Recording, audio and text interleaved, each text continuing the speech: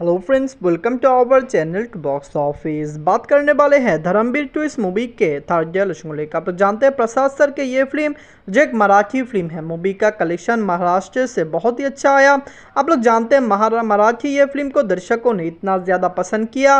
और मूवी का तीन दिनों का कलेक्शन ही ब्लॉकबस्टर है। मूवी तीन दिनों में 50 परसेंट रिकवर कर पाया है बजट जिसके वजह से हमें लगता है लाइफ टाइम में मूवी क्लीन हिट बन जाएगा। जो फ़िल्म तीन दिनों में 25 परसेंट या 50 परसेंट रिकवर कर जाए, वो फ़िल्म बॉक्स ऑफ़िस में आसानी से क्लीन हिट बन जाता है।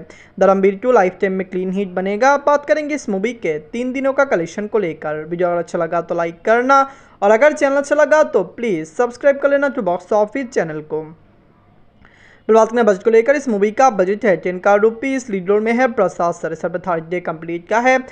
धर्मवीर टू एक मराठी फ़िल्म है, आप लोग जानते हैं धर्मवीर का सिक्वली है धर्मवीर टू, जिसका हाइप मराठी में बहुत ज़्यादा हुआ है। फैमिलोजन्स तो इस मूवी के लिए फुल पागल है। हिंदी मार्केट में भी मूवी को रिलीज़ किया गया, लेकिन हिंदी से मूवी का रिस्पॉन्स बहुत ही खराब आया, जहाँ पर महाराष्ट्र में मूवी क्लीन ही ब्लॉकबस्टर बन जाएगा। मूवी ने फ़र्स्ट डे में डिसेंट ओपनिंग लिया सेकेंड डे में मूवी को ग्रोथ हासिल और मूवी ने अच्छी कलेक्शन किया।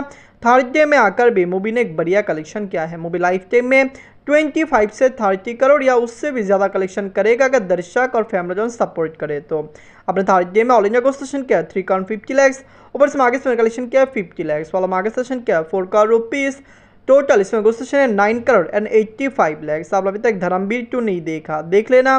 प्रसाद सर के ये फ़िल्म दर्शकों में बहुत ज़्यादा एक्साइटेड क्रिएट किया है। दर्शकों ने इस मूवी को पॉजिटिव रिव्यू दिया है। मूवी का फ़र्स्ट डे का कलेक्शन सेकेंड और थर्ड डे कलेक्शन देखकर हमें तो लगता है कि मूवी क्लीन हिट बन जाएगा।